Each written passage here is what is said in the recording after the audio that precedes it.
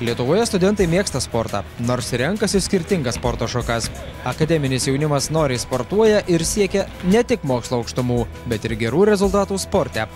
Kokios sporto šakos populiarios tarp būsimų specialistų? Ir mano sporto šaka mėgstamiausia yra karinė penkiakovė, e, bet kadangi jinai vyksta vasaros sezoną, tai žiemą aš, e, kad neprarašiu formos, taip pat žaidžiu salės futbolą.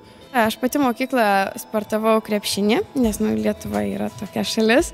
Ir būtent dauguma draugų iš komandos ir toliau tęsia krepšinio žaidimą.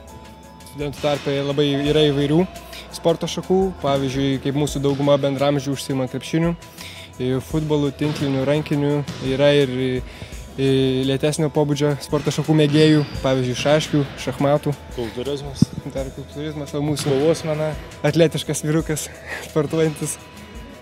Aš pati nu, bėgioju. Patinka plaukimas, aišku, bet tam, tarkim, ne visur yra galimybių.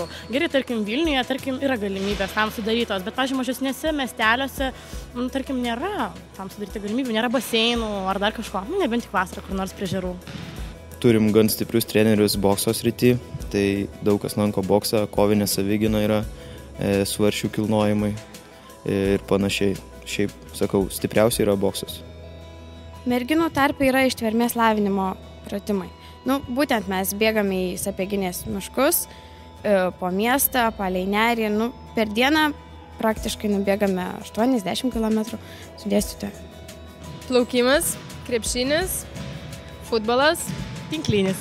tinklinis, joga, keliautojų sportas. Daug, vat. Nu, tarkim, nuo 3 val. iki 7 daugiausiai visi sportuoja.